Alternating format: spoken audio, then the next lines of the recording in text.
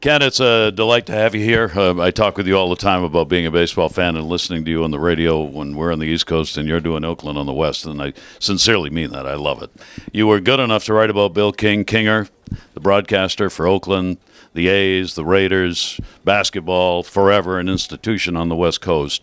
And uh, you were kind enough to give me the book, and I've had a chance to read that. Tell us a bit about why and what you were trying to get from that book.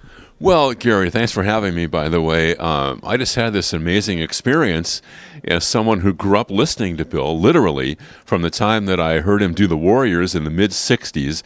And I would turn, tune in the radio late at night through the static because I grew up in LA. And he was, of course, uh, back then the Warriors were the San Francisco Warriors.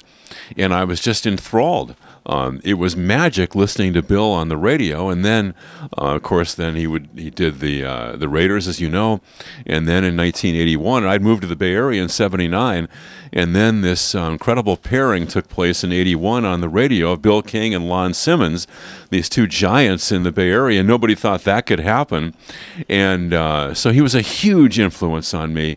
I was always fascinated by Bill because of his uniqueness, uh, obviously, and such a multifaceted guy. And then I got to work with him. So, how many times do you have the chance? to literally sit down with one of your idols. And then for 10 years, we were partners on the A's games, Gary.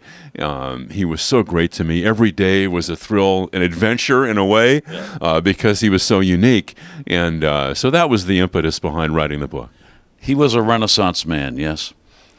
To put it mildly, I think. Um, he was a, a, very diverse guy, and I think I wrote in the book, or it might have been at the eulogy after he passed away, that um, I thought all of his interests added a texture to his broadcasts because you knew that you were getting more than just a guy who was calling balls and strikes, or whether it was the NBA or the NFL, because um, he just had an incredible appetite for life in all aspects of life. And I, I, think I've just joked. I said, if Bill was reading the morning paper, that was like the most important reading of the morning paper of all time. He just devoured the thing.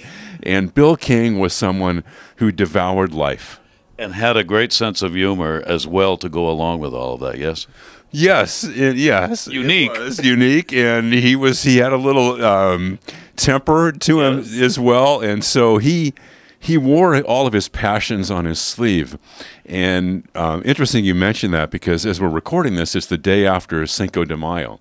And uh, Cinco de Mayo 2000 is when, and Bill hated doing games in Arlington. Um, and toward the end of his career, he almost refused to go there.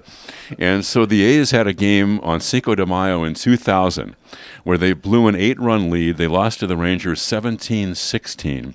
And some of the like the really lousy moments were great theater when you work with Bill, because that's when he said that never in your wildest alcoholic dreams could you possibly conjure what had happened today, and the A's had lost that game 17 16.